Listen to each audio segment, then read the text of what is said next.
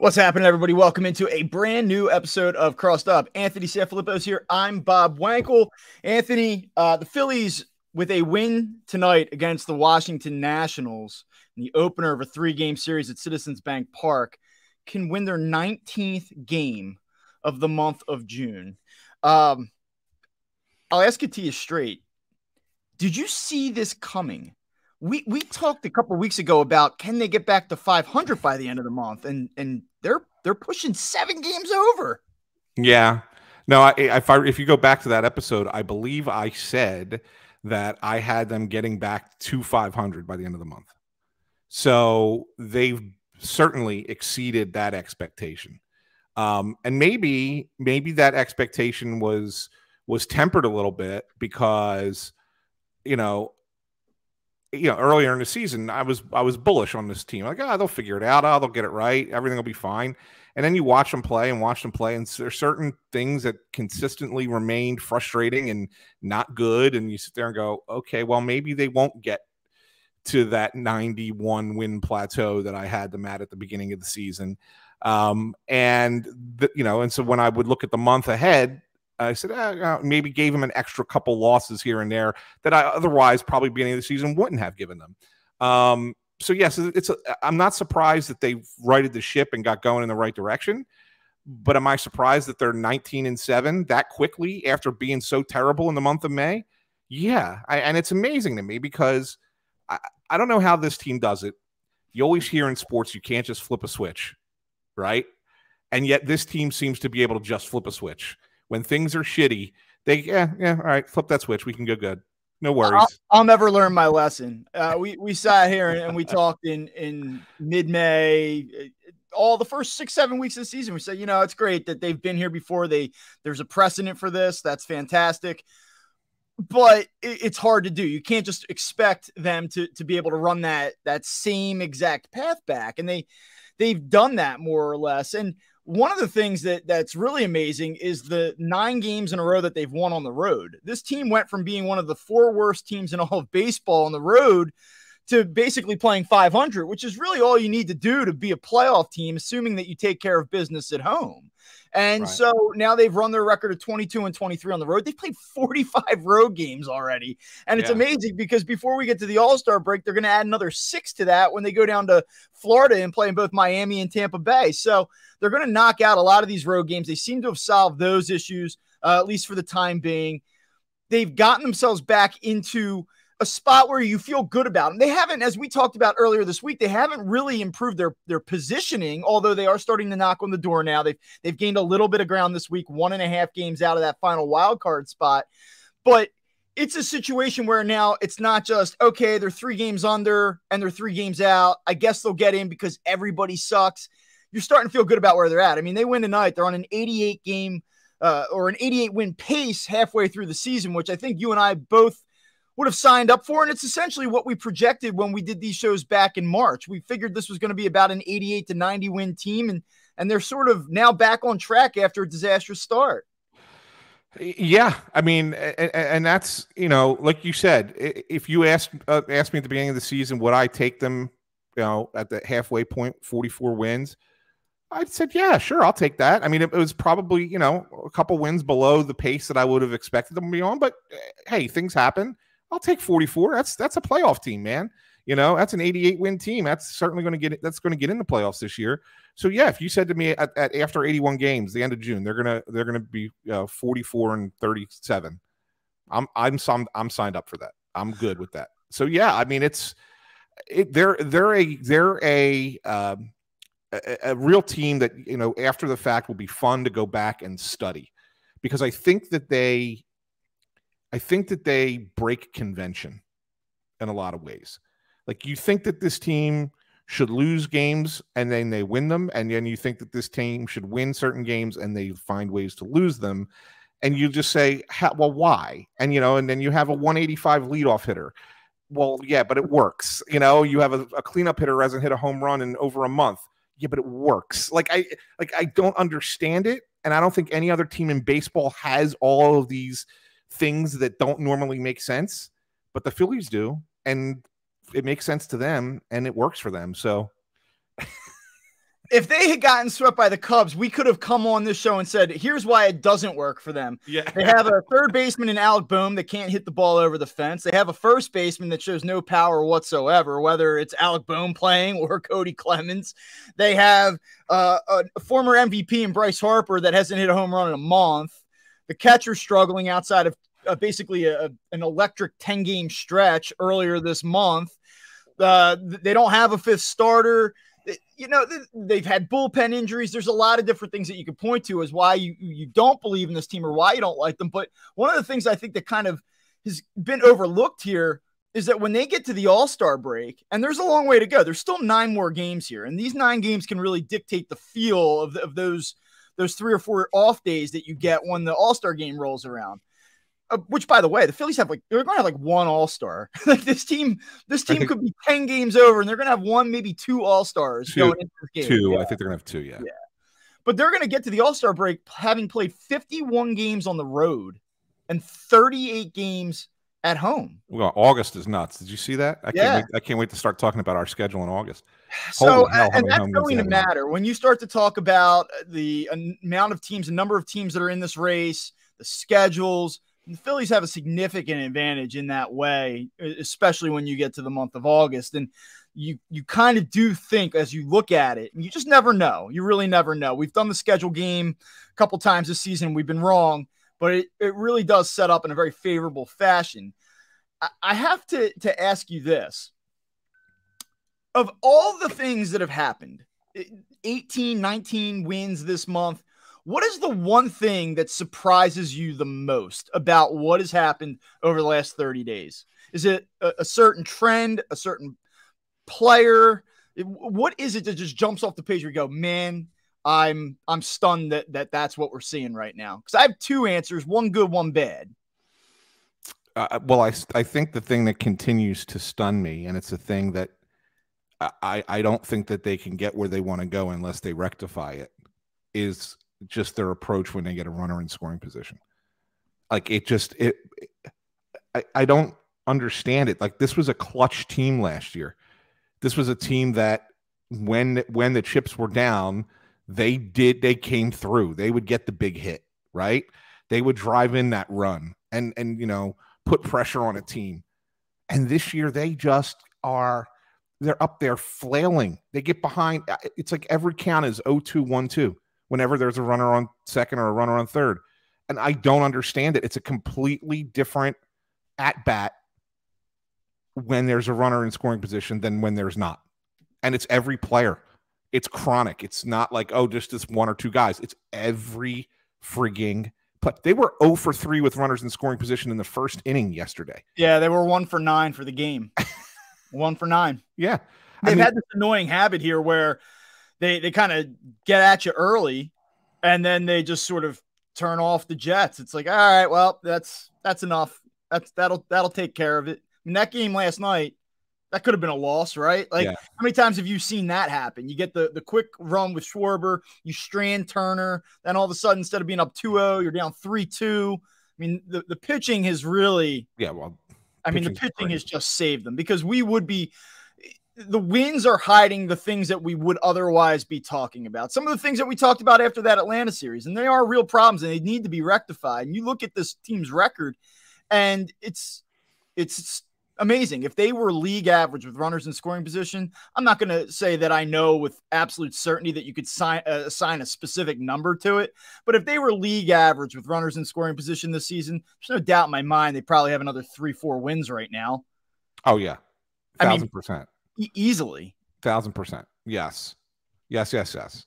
Um, you know, eh, look, in the grand scheme, we're going to go, you know, as this season progresses, we're going to, we're going to watch this team play and they're going to win a bunch more games and they're going to probably leapfrog into the wild card, into a wild card spot. In my mind, I think they'll leapfrog into a wild card spot by the all star break, if, you know, if not sooner.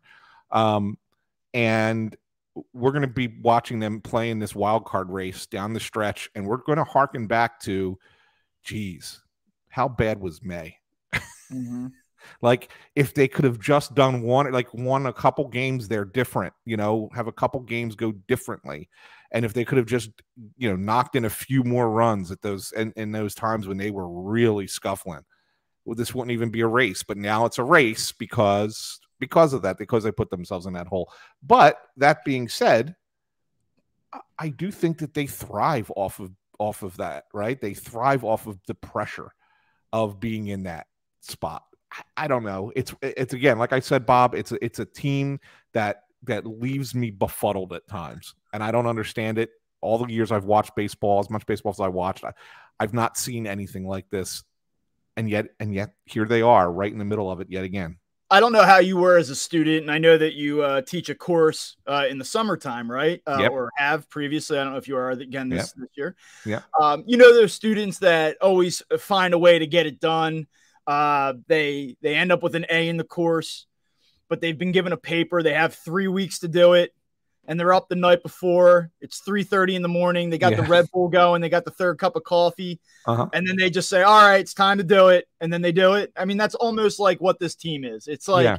you could have made this easier on yourselves. You could have not been seven games under uh, at the end of May. You could have just been set your just do a little bit of the work ahead of time. Just make it easy on yourself. That night before the paper's done, maybe you turn on the computer, you do a couple quick edits, you hit send it's all good. Instead, this team waits to do the research, waits to write the damn thing, probably waits to the, the, last night to actually go out and even buy the computer. I mean, that's that's like what this team is like, and it's what it's been like for two years. When they have to do it, I give them credit. They find a way to do it, but their their path there is very unconventional. And you know, you start to look at this and we talk about how they haven't made up ground, and I'm fixated on that right now. I know we talked a little bit about it on Wednesday. Stunning. It's stunning. You just it's amazing to have this type of month. And this is where you usually see the before and after of the the standings. You say, wow, here you go. On June 1st, look, they're seven games out.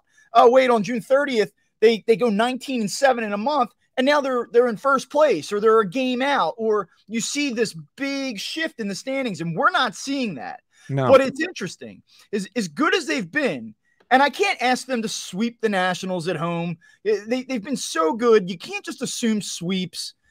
But you get into a situation this weekend where you should win the series. And eh, to be honest with you, barring a an emotional letdown, and I know we don't really talk about baseball this way, like you're going to be favored pretty heavily. I'll put it to you that way.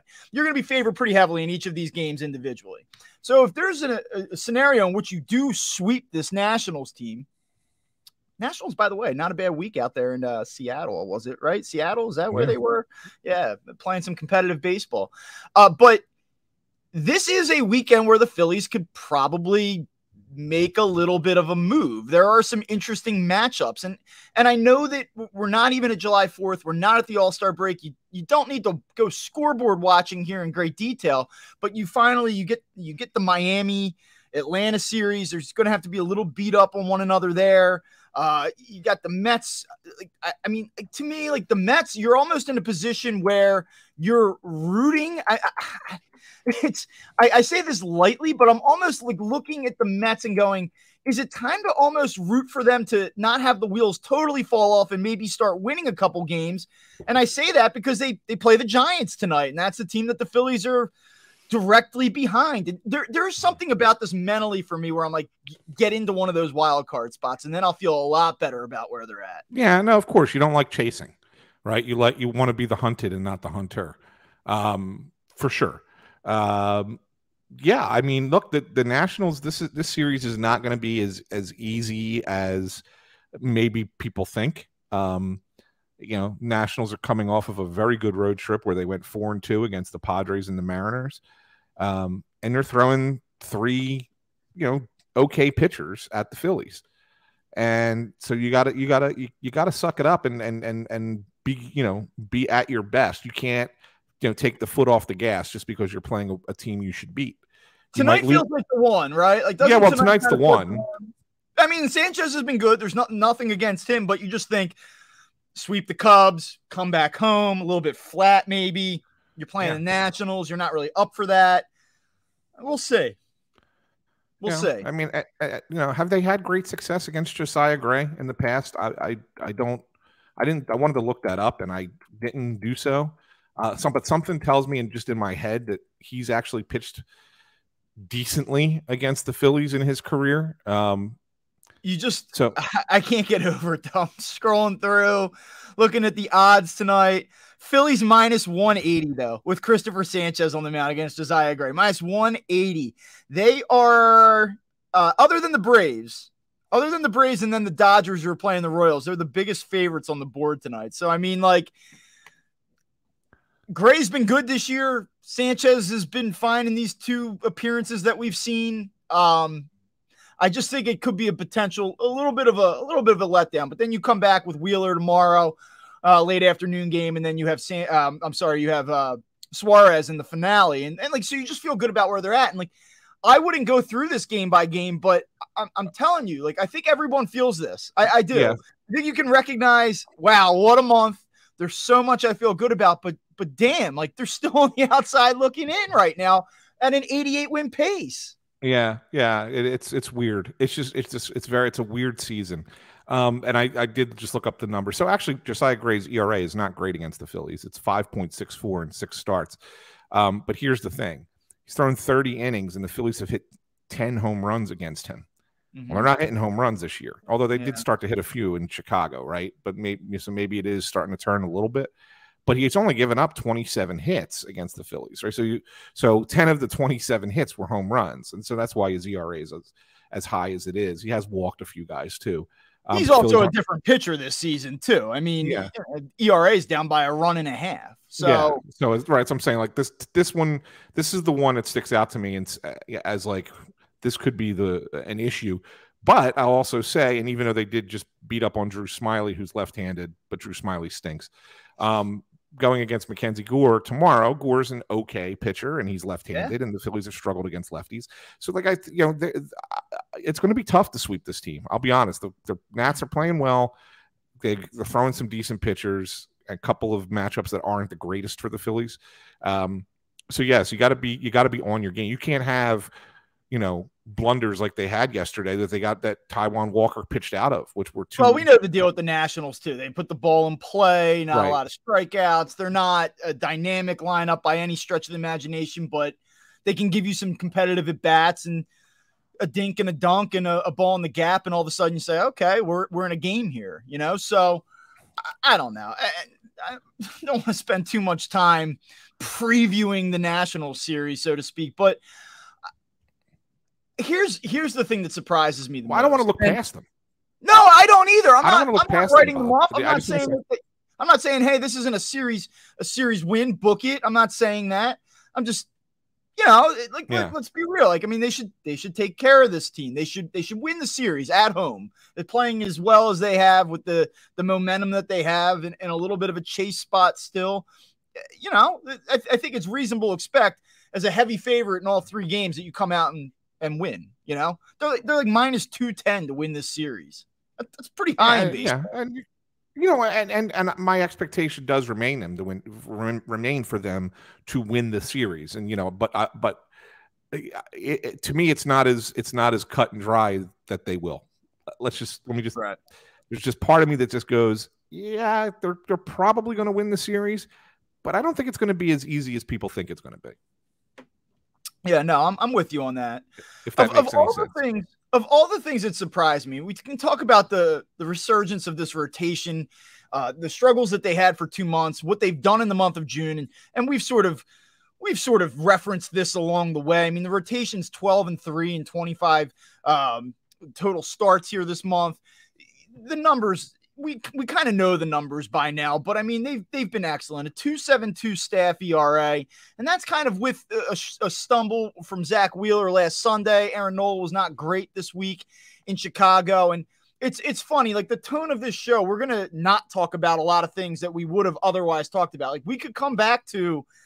We could come back to runners in scoring position. We could come back to another Aaron Nola conversation we could talk about are they a guy short in the bullpen? Like there are things that we could talk about, but it's it's hard to kind of point out those flaws and point out those negatives.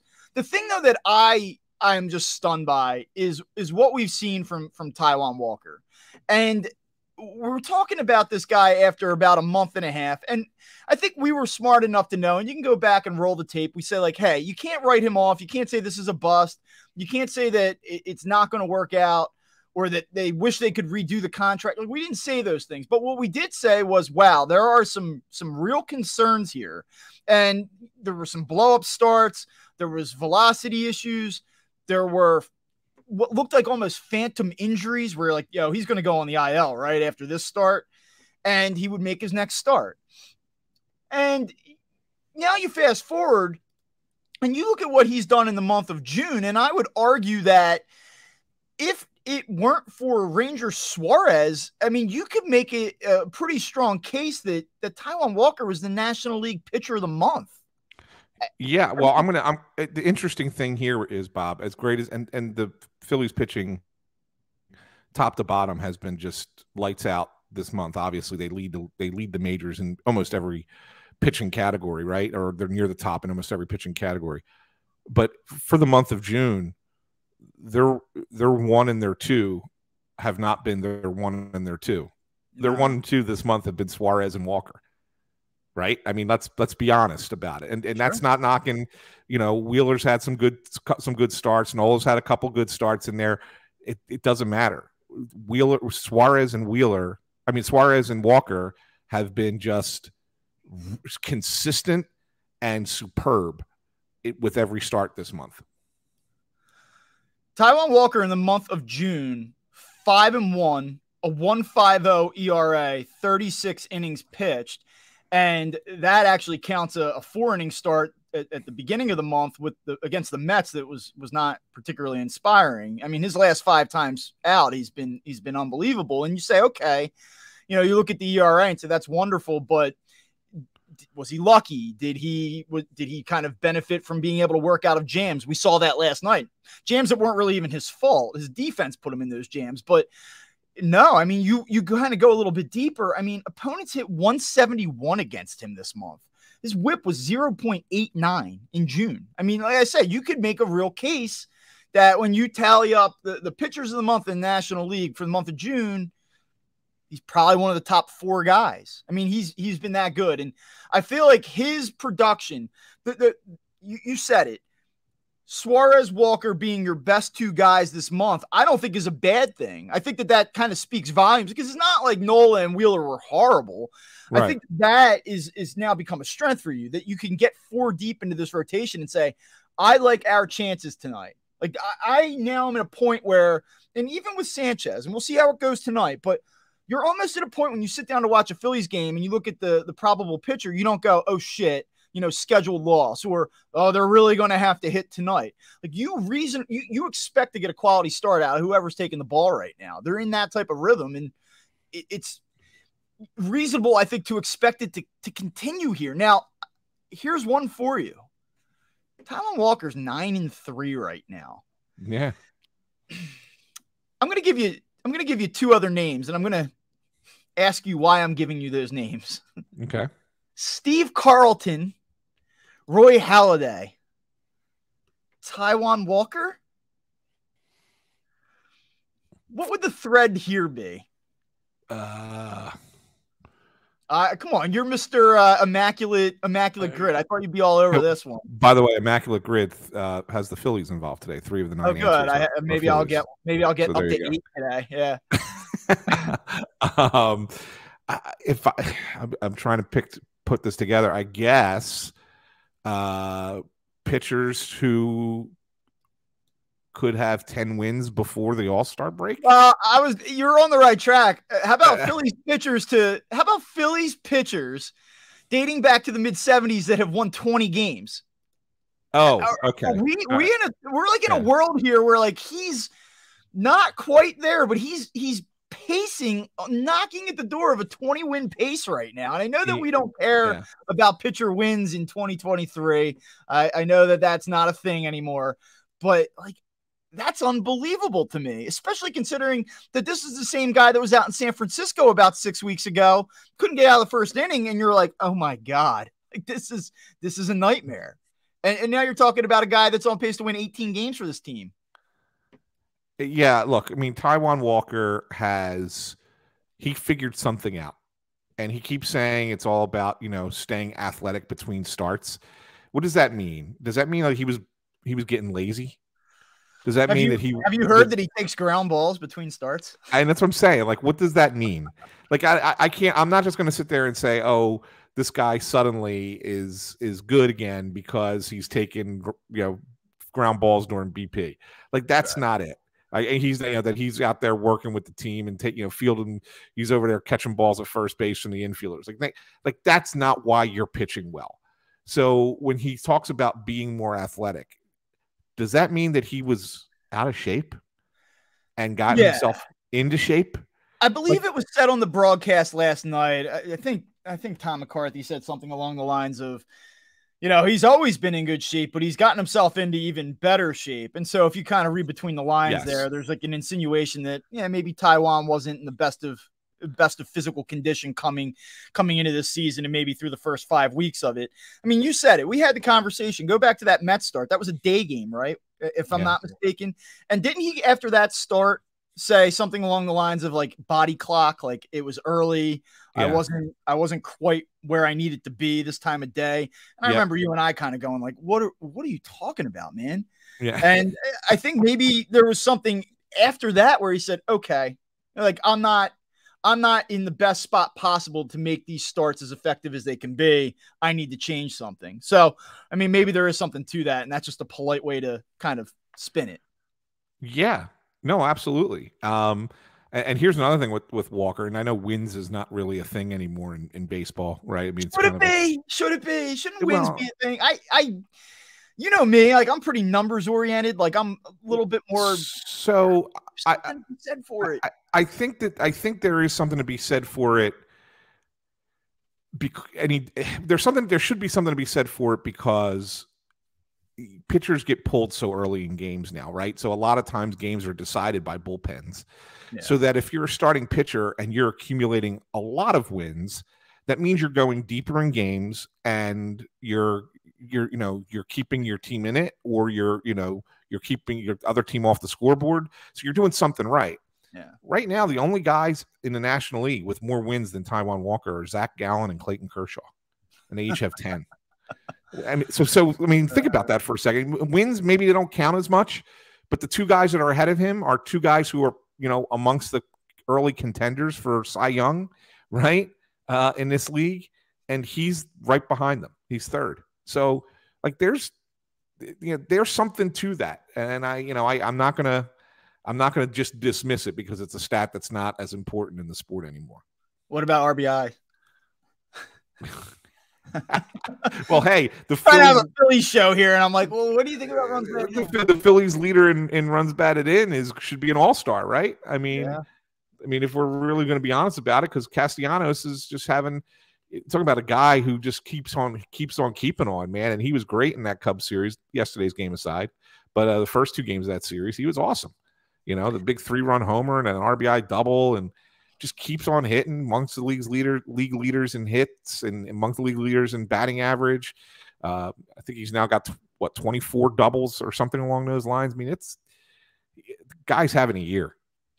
There are a few other things that I want to say that are uh, along the positive on the positive side of the ledger, uh, and then I have something that we need to talk about. We we have to address this. We haven't talked about it on this show now for a while, uh, and it's time that we we be honest. So, uh, real quick here, uh, this bullpen, a name that we we just rarely talk about is Craig Kimbrel, and we've gotten to a point now where uh, he comes into a game and you're not like, well, you know, okay, I feel I feel all right about this. He's really in a groove to this point where you're saying, man, if you just take away one or two blowups earlier this season, you could make a case for him being a legitimate National League All Star, not just a legacy guy. Hey, let's invite him in, 400 saves, all that stuff. I mean, he's been awesome for this team the last five, six weeks. He's been really, really good. Um, it's been almost automatic. You start to look at him, the, the combination with him and Soto, especially. There, there's just so much to like on this pit from the from a pitching perspective right now, and and Kimbrel is a guy I think we just kind of keep glossing over. Y- Yeah, I- but the thing of it is, is that you know, beginning of the year, they the Phillies, you know, Rob Thomson would not commit to any one guy being his closer. He was going to always he was going to do the matchup game, right? And and find the guy that uh you know best fits in that role at in that specific game. Um and Kimbrel has basically just said, "Oh yeah, watch." And he's yeah. taken it and he's basically taken it. And so, if you really want to look at it, Bob, since that uh, allowing that walk off grand slam to Max Muncy in early May in in, L- in L.A., he's had uh, he's appeared in 21 games. He's been the last pitcher out there 17 of those 21 times. Okay, mm-hmm. so 21 innings, 1.29 ERA. Yeah. Okay. The batting average against is 125. He's given up nine hits in almost two months. Yeah. 36 strikeouts to five walks. It's really, really frigging good. Yep.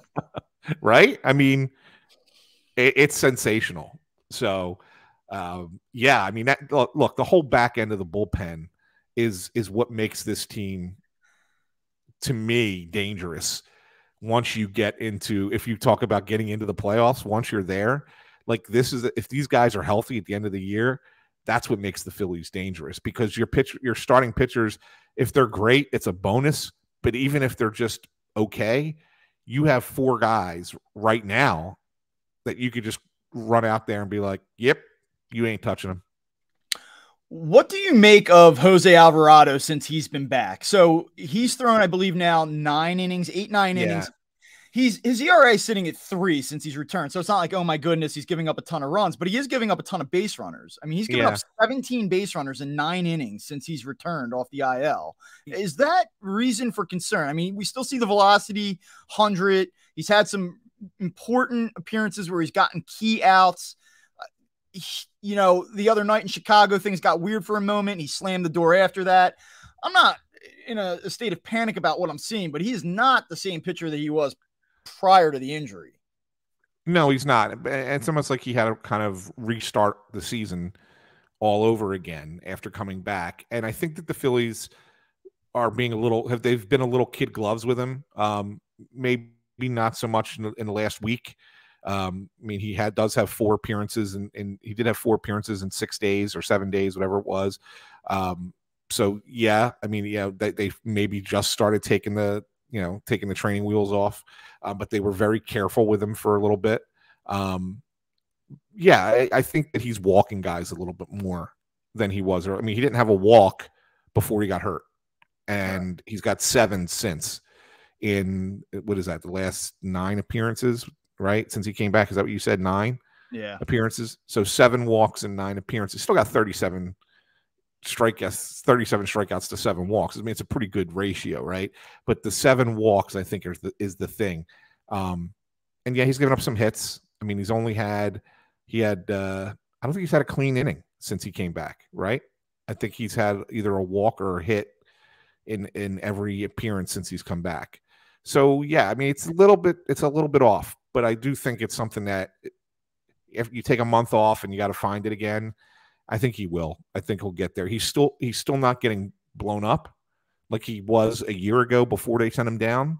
Um, so I think that the, it's one of those situations where this isn't as good as he was earlier, but it's also not panic mode either. He's just going through a little bit, and we'll we'll get that fixed out. And I think that they, I think he will, and I think they will. One other thing I want to just touch on, since we're in the bullpen right now, you know, you look at uh, Yunior Marte, and it, it's like feast or famine with him. And we see the arm, and you know how much Rob Thomson has talked about him this season. And he likes the natural sink, and he's throwing 98, 99 miles an hour. We see him close a game against the A's. He was unbelievable last night in the seventh inning against the Cubs. But in between, there's been some stumbles.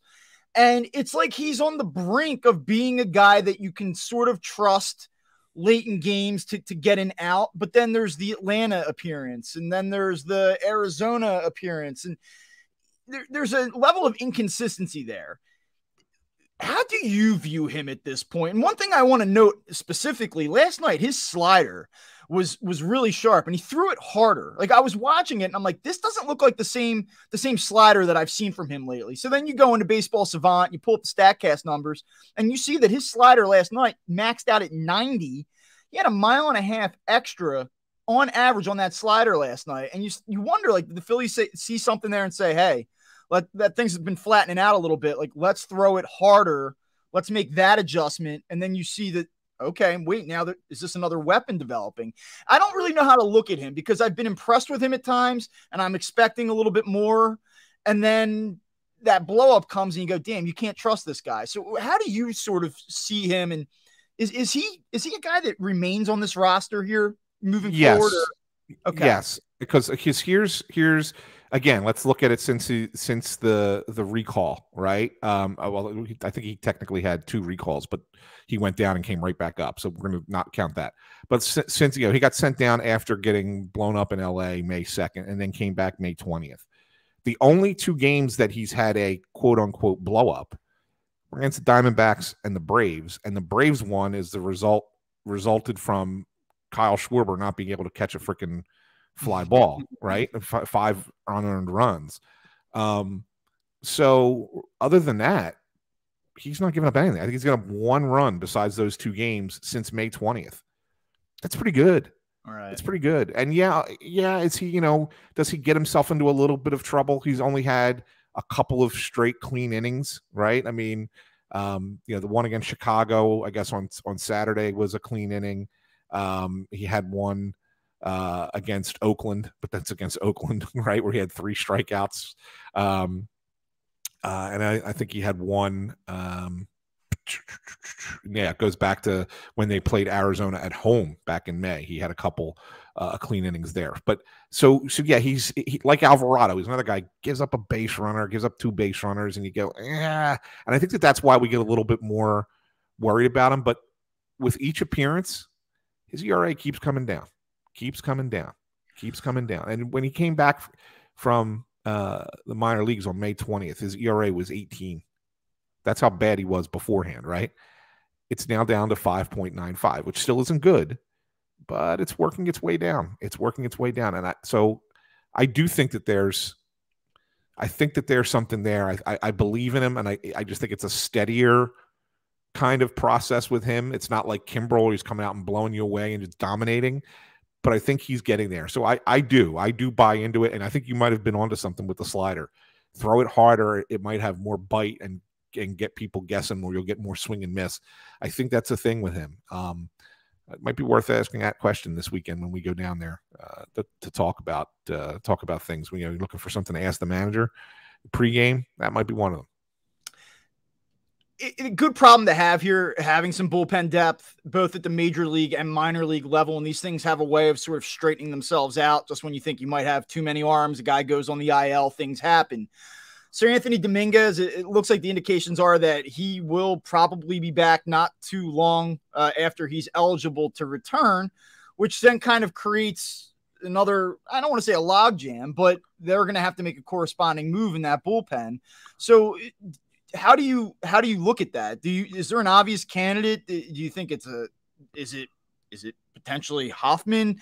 How do they play that when he comes back? And then the, the only other reason I bring this up, you have Connor Brogdon still rattling around uh, in Lehigh Valley, but the the one guy that's kind of getting hard to overlook, and keep in mind Andrew Bellatti, he yeah. threw important outs for this team last season, and he did it in the postseason.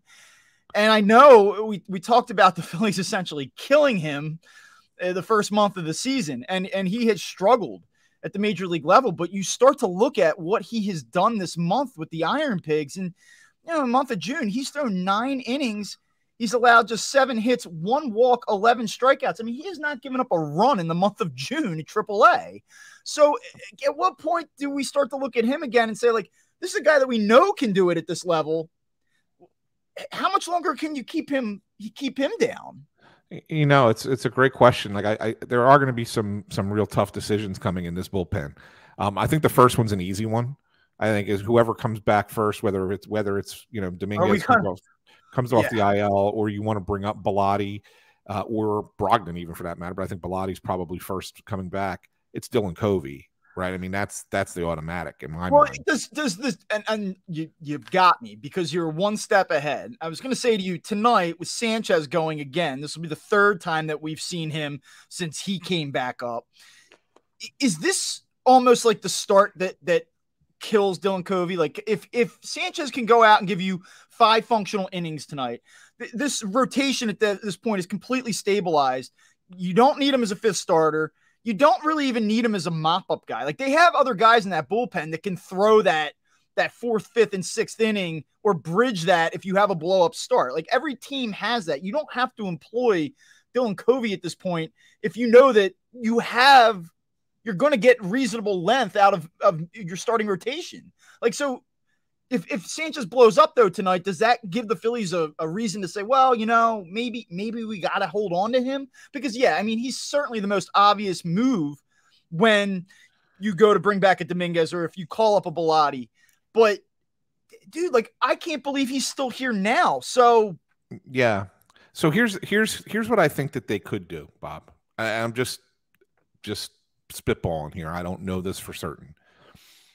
But if you look at having the off day Monday, it can help. It can help them. So you got Sanchez going tonight, even if he pitches well. Let's just say whatever, and then you know it's what Wheeler tomorrow and Suarez on Sunday. Then you have an off day. Then you have three games in Tampa. Do you really want to start Christopher Sanchez in Tampa? No. You probably can. You probably can push that number five spot to the Miami series, right? Uh, where it's a weaker lineup. Um, Although I could make the argument that Miami head to head right now creates more, a little bit more a, urgency. It's a more important game. I agree. It's a more important game. But if you're looking at if you want to go with the matchup, you probably sure. would rather Sanchez pitch against the Marlins than you than you would against Tampa. But then but here's where I'm going with this. So you could technically push push back the number five start because of the off day to the to July 8th, which is the second Saturday, right? Uh, the, the next to the last game before the All Star break. Right. Let's say two of these guys you want to bring up Bellatti, and let's say Dominguez is able to come is ready to come back, and Covey's the the easy guy out. Can you do you bump Sanchez and go with a bullpen game? Yeah, maybe, start yeah. you start Matt Strahm for two innings and then you know piecemeal it from there. I kind of don't want to do one, that. Like I kind of don't want. To. I know you. I know you don't. I know you don't. But it's it, you're right before the All Star break where you can reset everything, right? So that's so. I'm just trying to say you could get three of your better pitchers against the Rays, and yes, you're using a bullpen game, but it's the next to last game before the All Star break, and then you're going to give guys four days off. Yeah. So so it's almost like you can kind of you know push it a little push them a little bit because you know they're going to have all that time off. I i think that that's a possibility. Plus if you're bringing guys back like a Bellatti from from the minors maybe you, you know you, are getting a fresh arm kind of thing in a lot of ways. You know i think that the phillies have that option.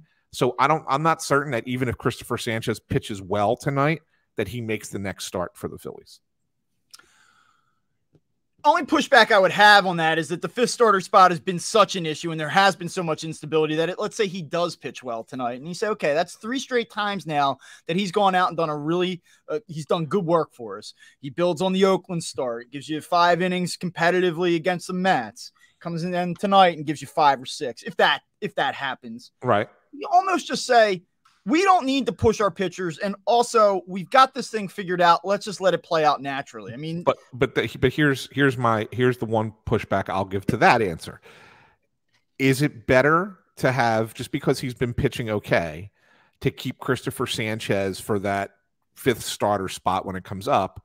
Or does bringing Bellatti and and Dominguez back into your bullpen mean more for all the games in between right. and, and, and around it. Valid point. Uh, valid point. I'd be curious to see what they do. And yeah. obviously, Sanchez pitching well and continuing to pitch well is got to happen first before we really Correct. even evaluate that. Because he goes out and he blows up tonight. You go, okay, there's really, yeah. there's truly no need to do this. Um, the, the other thing I just we kind of sometimes don't talk about like the fringe roster pieces and there, there's a couple other interesting things developing here uh, in Lehigh Valley and and and one of them I actually don't think you would expect. But just by the way, Scott Kingery hitting 272, OPS is pushing 800. I know AAA pitching sucks, but Yeah. five runs batted in last night. Like, just wondering, like down the line, if like Josh Harrison, Scott Kingery, which one would you rather have? Like, is there some world where we might get to like mid August and and that becomes a thing? He's got to continue to hit, but like he's he's been all right down there. But that's that's kind of an aside. The the thing I really want to look at is you know Jake Cave. Is, uh, you know he's just still hitting. He had multiple hit game last night. OPS is over 1.1. Uh, you know, and then you look at look at Hall, like look at Darick Hall, like uh, I- there are like the Phillies could use Darick Hall's power if if nothing else. Is he still blocked? Because a month ago we like we we said, hey, they love Cody Clemens. He's playing good defensive first base. They really just don't have a spot to do this right now. Like they've got to make decisions here, and it's been written about. Like Alex Coffey in the Inquirer had something about Hall, and you know he he's likely to return here at some point. But like, how do you how do you massage this? How do you work out the numbers? Yeah, it's it's weird. It's a tough spot to be in because they don't want to get too left-handed, but at the same time, if you're left, if your best guys that are down there are left-handed, why are you not using them instead of the the the guys you have up there? Look, Cody Clemens went through a has gone through a rough patch, although he does have a does have a couple hits lately. He's played some okay defense at first base, like he's not killed you there he does offer versatility too. Like he can play multiple positions, um, which Darick Hall cannot. And so I think that that's the question that you need to ask yourself: Is it more important to try and get some thump into the lineup, even though it's going to hurt us defensively and with flexibility, or does the you know does Clemens flexibility mean more to us than potentially adding whatever power Darick Hall would give us at this level. Um, as for as for Jake Cave, I I don't know how you keep how, how do you not bring him back? I just how do you not? I, I don't know if you really need two guys who can play all over the infield on your bench, even if they're both right-handed. Like to me, I'd rather I'd rather just keep one of them. Whether you want to keep Sosa or Harrison, it's probably Sosa because he's better defensively, right? Um, I, I'd rather keep Sosa and then go with Jake Cave as a bench bat bat off the bench. He doesn't even have to start. Like just be the left-handed pinch hitter, which they don't. So really- if you could pull up Hall or Cave right now, wh- what would you do? Cave. I mean, and that, that's it's amazing because you're talking about a guy, and, and I think that that fans got a little bit carried away with Darick Hall last year, and Yeah. certainly he gave them important power at a time they needed it. Bryce Harper went out; he he was big for this team. But here's a guy that is presumably going to be your first baseman once Rhys Hoskins goes down. He gets hurt, he comes back. He's hitting 326 with a 941 OPS with the Iron Pigs right now. Like Yeah. he's done everything that he's supposed to do, and he's blocked. And and listen, that's good. You know, in a way, like that's great. It's good that the Phillies are in a position where they have enough depth or they have enough quality players that uh, it's it's not a slam dunk that Darick Hall just comes back and plays because he does have a lack of versatility. Like those are real concerns. You can't hit lefties. We, we know the deal there, but man, So- like you almost feel for the guy on a human level. Yeah, so here's the thing, Bob. This is how I look at it. We're fast approaching Bryce Harper playing first base. It's going to happen probably right after the All-Star break. I mean, that's that's my expectation. I think we'll see it that first series after the All-Star break against San Diego. So we're only talking about two more weeks, right? At that point, you if he can if let's assume he can adequately play that position even if it's not great, but just being adequate at first base. That gives you the flexibility you need to have Jake Cave on this roster because then Jake Cave can play more in left field and you DH Schwarber, right? And then you can give that a shot for a couple of weeks and see does Jake Cave continue to hit, you know, anywhere close to what he was doing in the minor. Obviously, he's not going to have those kind of numbers at the major league level, but can he at least give you something at the major league level with some regular at bats? Right. And if he can, then it makes the deadline and, and a little bit more interesting, right? And then you start looking at what you can do at the deadline. Um, but I'd rather have, if nothing else, I'd rather have Jake Cave's bat coming off the bench as a left-handed option that can that can drive the ball than I would have what they currently have on the bench. I just don't I don't like it. I don't like the bench a little bit. I think that you know, and I know there's not a lot of pinch hitting in baseball because you have because of the DH, but there's going to be spots in games where they're going to bring uh, the opponent's going to bring in a, a relief pitcher that just you don't like that matchup with the guy that's in the game, and if you want to have an option off the bench that you can go to, so have it. Yeah. Don't not have it. Don't don't settle for uh, well, well, we'll we'll take this matchup. It's not the greatest, but we'll take it. Don't settle. Have have an option to make them think about. Because right now, if it's a right-handed starter, there's no there's no left-hander off the bench at all. And if it's a left-handed starter, okay, fine. You have lefties to come in with if there's a righty reliever later. But even even then, it depends on who's sitting out. Are you sitting out Stott and Marsh?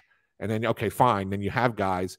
If not, the only guy sitting out is Clemens is Cody Clemens the guy you want putting up in a big spot late in the game? All right.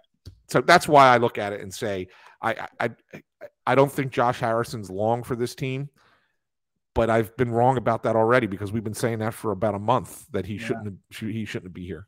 Yeah, it's surprising. It is. Um, before we get to one last thing, I we have to talk about Bryce Harper now, and yeah, you know, it was kind of funny. Like he's he's one of the biggest names in baseball. The All Star Game is an exhibition, and I understand wanting to get high profile players into the game. I understand why the Phillies would certainly be pushing for Bryce Harper to to make the All Star team, and that's that's great. Uh, because casual fans, you don't get to see him play every night. You want to see Bryce Harper play. There's no world in which Bryce Harper uh, deserved to be an All Star this season, and it almost kind of felt a little bit unnatural watching the Phillies make such a strong push to get him in as a designated hitter. And all the credit in the world goes to him for getting back early. And we've we've noted this before that hey, listen, he wasn't even supposed to be back yet. And and the fact that he's contributed, he had a big two run single last night. I'm not here to, to dump on Bryce Harper. I mean, let's let's be real. But at the same time, you have to kind of look at what's going on with him. And you look at the season stats, you go, okay, cool, whatever. He's hitting 278, on base percentage 380. That's really strong. 763 OPS, it's down. Like he's that OPS has sunk here recently. And you look at what he's done the last 15 games, and you know, he's hitting 259, he's only slugging 276. Last seven games, he's hitting 125. Like he's really struggled, and it seems like you would think the longer and further he gets removed from from this injury and coming back from it the more he would be sort of gaining his traction and instead it's kind of gone the opposite direction. He came back he was so good right away that you just said this guy is unbelievable this is superhuman and and lately he's not been superhuman. He's he's struggled and i guess it, I just i think really it's an acknowledgement of that but more than anything what do you expect out of Bryce Harper the rest of the way? Like in the second half, do we get something that looks more like the Bryce Harper we become accustomed to? Or are we kind of just playing with 65% Bryce Harper for the remainder of the year? So here's, I'm going to give you, I think, a slightly different answer. You know what I expect out of Bryce Harper? I expect Bryce Harper to figure out why he can't hit a breaking ball all of a sudden or why he can't recognize a mm. breaking ball all of a sudden. That's what I expect out of Bryce Harper. He's one of the best players in the game. It's not like he hasn't been thrown breaking stuff before. He's just seeing more of it. And the reason he's seeing more of it is because teams realize he's killing us on fastballs. So we're just not going to throw him fastballs. I'm sure he's had that at times in his career before. He needs to adjust to that, plain and simple. And that's to me, that's on the player. That's on Bryce Harper. He needs to be better at that. I give him a lot of credit for even though he he's still struggling and has been in a lot of ways for a lot longer than I think even you the numbers you've pointed out. But the reason that you don't see it is because he does still find a way to get on base.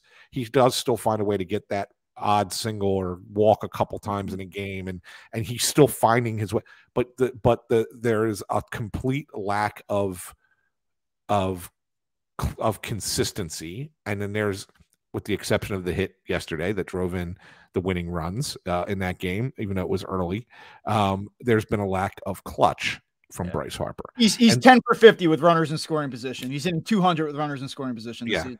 Yeah. I mean, and, and so he's got, you know, only 13 extra base hits this year. That's it. Yeah. That's it. Right. So, and, and you, and it's funny because if you watch him swing, he hits balls hard. It's not like you're sitting there saying, oh, well, you know, he's still maybe not physically right. And, you know, the swing's just not there. He doesn't have the power anymore. I, don't buy it. Like I, when I, you watch him make contact and you hear it, like if you're there at the, at the ballpark, the ball coming off of Bryce Harper's bat sounds different than a lot of other people because of how, how powerful his swing is, how much force he puts behind it. There's so much torque in his swing that that ball every time he hits it off that barrel is makes a a, a whomping sound that's different than everybody else.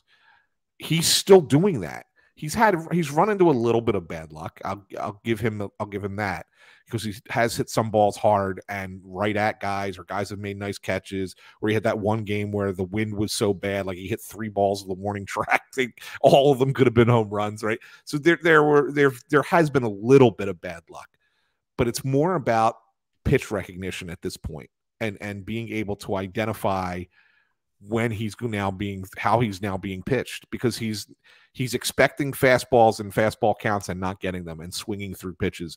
And that's putting him in in bad counts and that's why he's maybe striking out a little bit more or making weaker contact on certain on certain pitches. He needs to figure it out. I do not think that this is physical with him. I really don't. I really don't well, I mean, I think that that's probably encouraging. Then you look at what he's done against left-handed pitching specifically. Hit 256 against lefties last year. OPS was in the high 700s this year. It's 485. He's hitting 185 against lefties. Uh, you you kind of just get the sense that it's going to come, and that's why I have not talked a lot about Bryce Harper on the show because it, it's almost just hey, look, the, the numbers have been okay. He's he's been productive at, at times for them. He's not the player that we ex, you know typically expect, but you just kind of get the sense it's it's coming. But at the same time, you do look up and you say he did not homer in the month of June, and or or he has not yet to date. Maybe he does before we close things out this weekend. But uh, it's just I am now at the point where I'm like, okay, I think you at least have to acknowledge that this is ongoing. Yeah, well, it absolutely is, and you know we keep saying, Bob, whenever whenever they lose a game, more often than not these days we're saying it's because of failings of the offense, right? And it and that that has to be on the players. Well, right. He's one of the players and that it that it falls on. We're starting to see Turner come around a little bit. Like uh, you're starting to see a little bit more of the Trea Turner we expect. Still not there, but I think it's it's been slowly coming for Turner, and that's a good sign. Schwarber's been typical Schwarber, right? Um, and we've talked about Castellanos being their all star and Stott being really consistent. And now Marsh, he was struggling, but now he's kind of turned it around. But the guys that aren't doing what they're supposed to do are Realmuto, Harper, Bohm. Yeah. They're the three. Yeah. And they're, they're the three that you need to see more out of going forward. I'm with you on that. Um, I got a wrap here, so uh, yeah. we can do one last thing. We're going to need to do it under 120 seconds, though. Well, I won't do it fast in baseball, there's always you know these things that happen rarely that you that you find are really cool, right? Guy hits for the cycle doesn't happen that often. Awesome when it happens. Realmuto's that was even though they lost that game, pretty cool. Um, you know, guy hits three homers in a game. Oh, that's really cool. Bob, I got to tell you, I've never been more dispirited watching a perfect game in my life than watching Domingo Germán throw a perfect game against the Oakland A's part of me was uh, saying this sucks because the Oakland A's suck. Part of me say, was saying this sucks because it's the Yankees. And part of me was saying this sucks because this guy was suspended for cheating earlier this like a month ago. And now he comes out and throws a perfect game. I, I, I don't know. How do you feel? Like, I've never been so disappointed with an accomplishment. I didn't want to see him do it. I found myself sitting there openly rooting for Oakland to break it up because I didn't want to see it happen. Yeah, I was watching uh, in in uh, real time, and I I went to sleep in the eighth inning. Uh, I, I, honestly, I mean, that, so to, to kind of echo your sentiment, I was just yeah. like, okay, if he does it, I, I, I appreciate history, and we haven't yeah. seen it done in what is like been 12, decade, right? well, 2012, Felix Hernandez. 2012. Okay, yeah. yeah. So I mean, it's it's something that it's you get one of these and you you got where were you when he did that? And that is not what i found myself feeling or asking myself the next morning. I just said i don't care because you're right. He cheated. Uh the yankees thing you know listen okay like i, I hear you on that but yeah. the, the, the biggest thing for me and also there are some some off the field issues with Domingo Germán that uh, I, yes. I, think are probably worth recognizing as well. So oh, you package that all together, and um, it's an incredible thing, and it's a hell of an accomplishment. And I just simply said, eh, I don't care.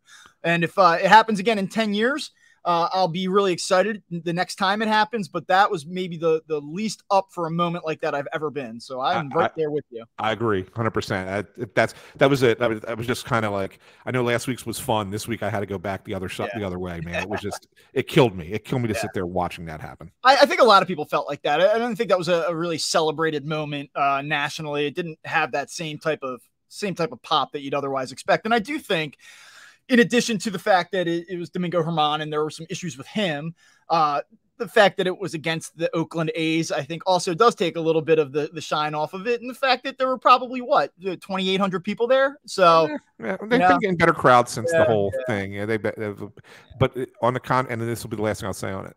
Uh, on the converse, just imagine if that was Shohei Ohtani that threw that perfect game. I mean, baseball would still be promoting it today. Yeah, you would never hear the end of it. It would be, I mean, Shohei Ohtani hits a fly out to the warning track, and it's like uh, it gets tweeted across every social media account in baseball.